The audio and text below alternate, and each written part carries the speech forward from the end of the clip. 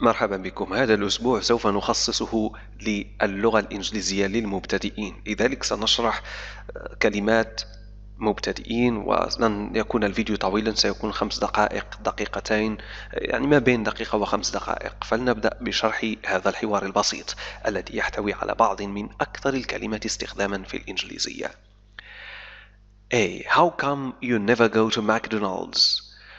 B. This may surprise you, but I'm vegetarian. So you don't eat any meat. That's right, no meat or dairy products. Why dairy products? Because they come from animals. فلنشرح.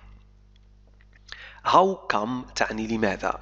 How come How come How come كلمتين لكنها تعني لماذا You never go لا تذهب أبدا You never go. لا تذهب أبدا. Never تعني أبدا. To McDonald's إلى ماكدونالدز تعرفون جميعا ما هو ماكدونالدز How come you never go to McDonald's? يجيب ب This may surprise you. هذا قد يفاجئك. This may surprise you. هذا قد يفاجئك. هذه الجملة شائعة جدا في اللغة الإنجليزية. هذه العبارة.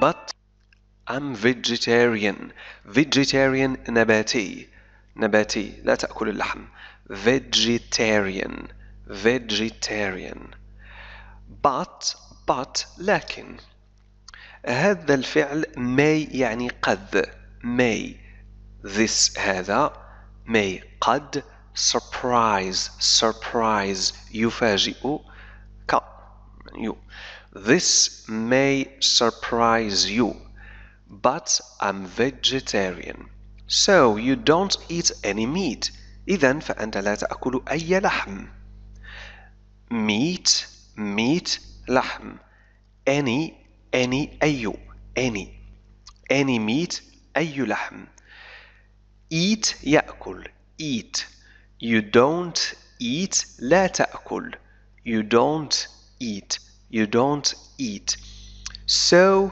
إذا so. So you don't eat any meat. So you don't eat any meat. إذا لا تأكل أي لحم. That's right. ذلك صحيح. That's right. That's right. No meat لا لحم or dairy products أو منتجات الألبان. dairy تعني لبني يعني متعلق باللبن أو الحليب. dairy dairy products منتجات.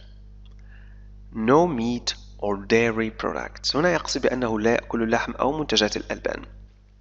Why dairy products? لما منتجات الألبان؟ يعني لما لا تأكل أو تتناول منتجات الألبان؟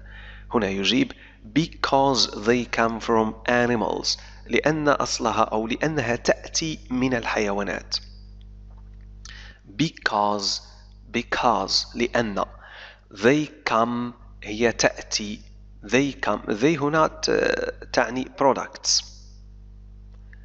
لأن هي تأتي من الحيوانات animals. شكرا لكم على المشاهدة وإلى اللقاء في درس لاحق. إن كنتم ترغبون في مثل هذه الدروس التي فيها شرح كثير ومبسط فعلقوا قولوا أو اقترحوا ذلك في التعليقات لكي أكثر منها. شكرا.